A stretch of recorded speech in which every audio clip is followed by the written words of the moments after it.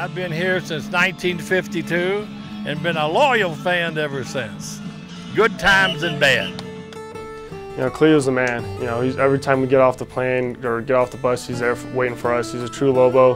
Uh, you know, it's something that I, he's the type of person that I want to be when I get older, be a true die-hard Lobo fan, and you know, I appreciate all the things that he's done for us. Travel Wednesday, travel Thursday, get into wherever we're going by Thursday night, because we got to be there Friday to go out to the airport and make all the arrangements to be able to, to get out on the tarmac.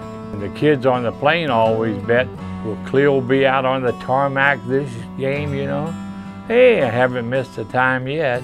Just that bond of always seeing him there and, you know, seeing that he wants to see us very, be successful uh, means a lot. Just seeing him right when we get off the, off the plane, off the bus means a lot, knowing that we still have a lot of support and have guys like Cleo that believe in us. You know, so it definitely means a lot and we go out there and, you know, we try to play for Cleo every Saturday. To be a Lobo means you're a fighter.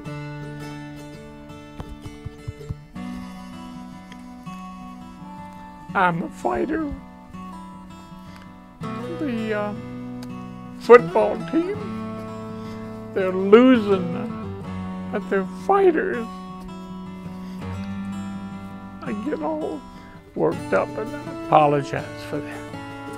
But uh, to be a Lobo is being part of Albuquerque, being part of New Mexico, being part of something that you believe in.